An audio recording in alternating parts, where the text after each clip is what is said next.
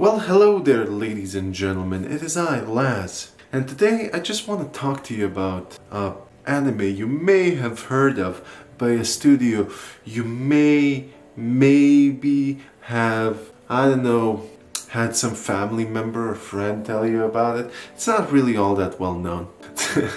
so today I want to talk about Spirited Away by Studio Ghibli. Studio Ghibli is as you probably know and probably may have heard already, the child of uh, Hayao Miyazaki, which is sometimes considered one of the best anime directors of all time, basically. And Studio Ghibli could be considered to be the Disney of Japan. It's it's really good. It's really good. And knowing that Spirited Away is widely covered, everybody knows about it.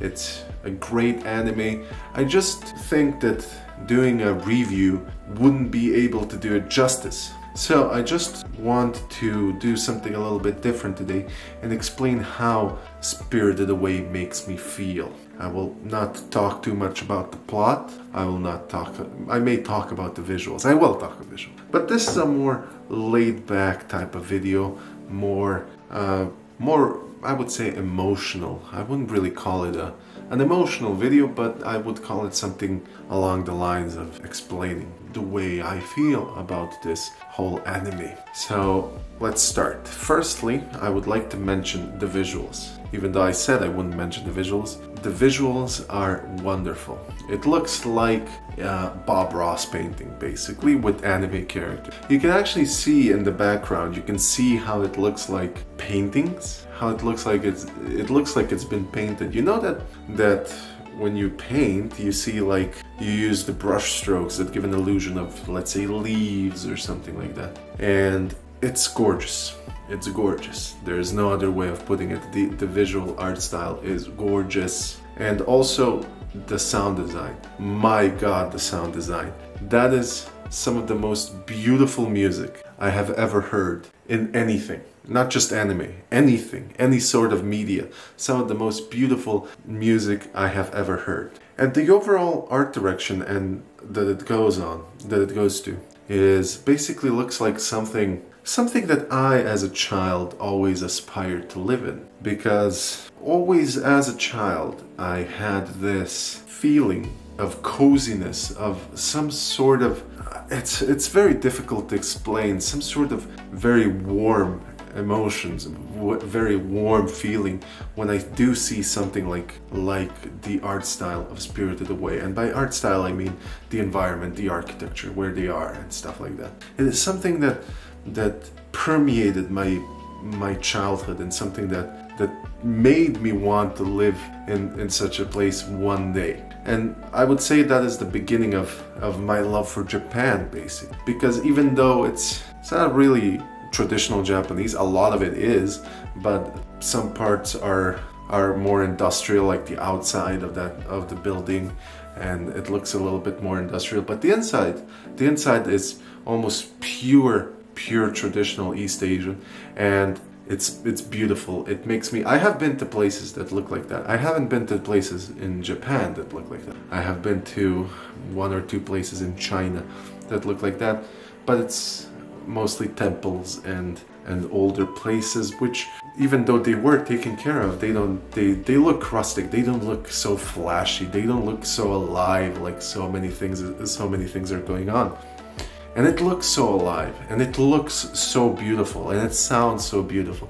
And it just has this perfect synergy of the blend of sound and and video that causes this this warm feeling this this distilled nostalgia that some sometimes that I do feel for this anime even though I've never watched it before. This is the first time I watched it but I felt nostalgic for it. I felt nostalgic for the way it looked. I felt nostalgic for the way it felt. I, I just it gave me this this sense of nostalgia, this this sense of basically escapism to this fantastical world of Spirited Away, and it looks and it looks so alien yet so familiar. It looks so strange yet so comforting and so cozy, I would say. it's something, it reminds me of a time in a very short amount of time in my childhood. I'm not gonna lie, I had a horrible childhood. It's, it is what it is. It's history, you can't really change it with all the wars and, and poverty and shit like that. It, it just happened.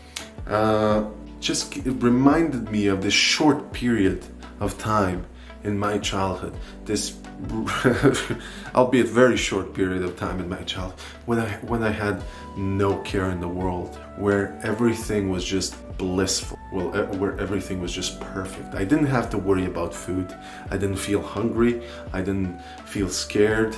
I didn't feel any, any sort of negative emotion. It was just a time of well being, a time of peace. And that's what this anime gives me. It gives me a snippet of that time of peace that I once had for that short period of time. And I'm sure that everybody feels this way as well. They had, they always, people always look at their childhood very fondly and they look at their childhood as a time of peace and carefreeness, right?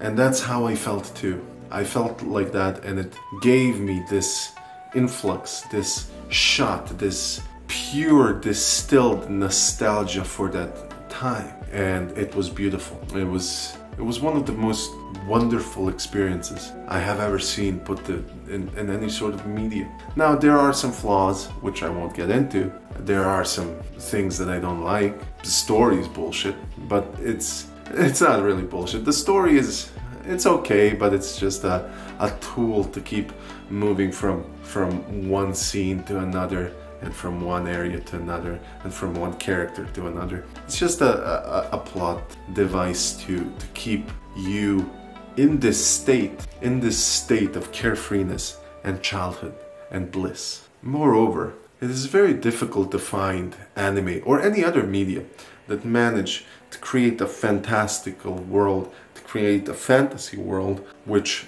has that kind of liveliness. It's very difficult to find that. It, what what comes to your mind when you when you think of a fantasy world that is very good, very well crafted? Maybe let's say Harry Potter or something, or or Alice in Wonderland, which this this derives a lot of. It has a lot of similarities with Alice in Wonderland, and it's very Alice in Wonderlandish, so to say, but more Japanese, more Eastern, which is great. I love it. I, I never really enjoyed Alice in Wonderland that much. I did enjoy this a lot.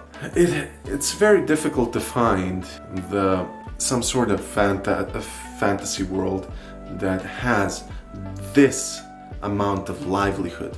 Every scene is packed to the brim with charm and with beauty. And that's that's what gets me. That amount of detail and attention to detail to all of the parts and all of the little little details. Attention to detail to all of the little details. Yeah, I know. English is not my native language, don't judge.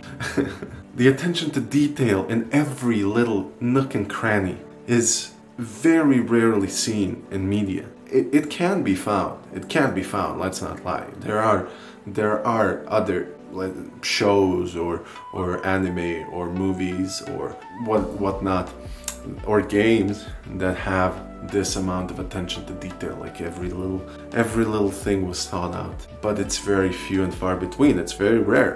So this anime this anime movie this I, I would gladly say it's a masterpiece. And I and I the Academy Awards it won is all well deserved so overall I think if you haven't watched this you definitely should because it is one of those windows into your past, into everybody's past, into everybody's childhood. The window into that carefree time, into that beautiful time that it's it's something that everybody needs to to revisit, at least in thought or or in media or whatnot. It is something that that should not be forgotten as we grow older and grow more uh, bitter at the world and more disassociated with everything really when it all turns into survival and working and making money and living. We need to look back on that time that when we were for all intents and purposes free. Like if you if you think about it when you're a child you only want to grow up to do all these things that you see other people doing. But then when you're older you just wish you you enjoyed that time more and more fully. That's it from me guys. Thanks a lot for watching. Leave a like if you enjoyed the video. Leave a comment down below if you agree or disagree with me, if you want to ask me questions. Follow me on my socials and I stream every Tuesday, Thursday and Saturday. I stream mostly Japanese games over on Twitch. Join me, come and watch. And if you're a kind-hearted soul, there is a Patreon. You, you shouldn't feel obliged to it. And also, I, I'm adding another feature of people who subscribe to Patreon get to view my old cringy video game review videos which are unlisted on this very channel. So I think I think it would be interesting to see for all you guys. Thank you so much for watching everybody and I'll see you next time.